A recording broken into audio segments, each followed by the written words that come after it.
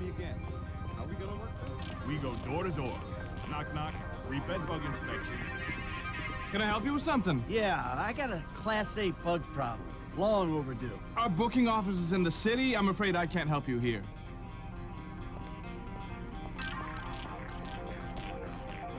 Toxic chemicals. It's not safe for you here.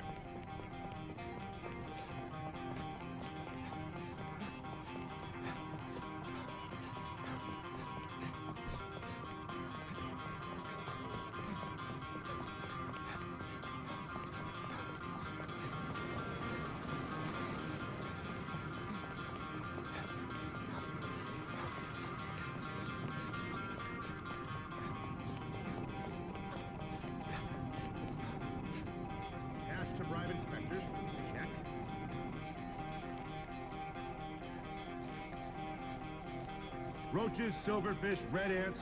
Check, check, and check.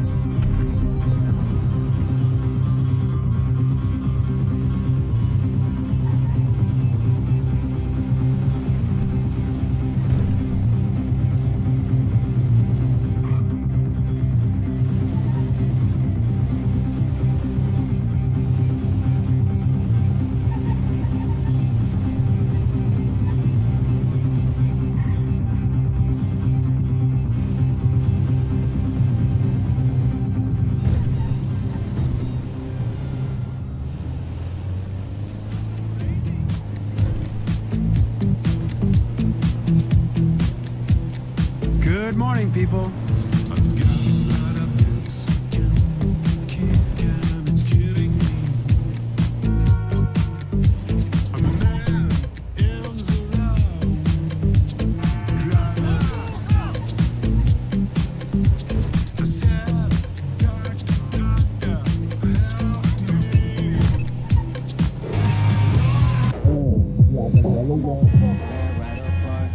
Oh, so mad. I should have coming right from the start. And we should beware, beware, beware. Treacherous all us.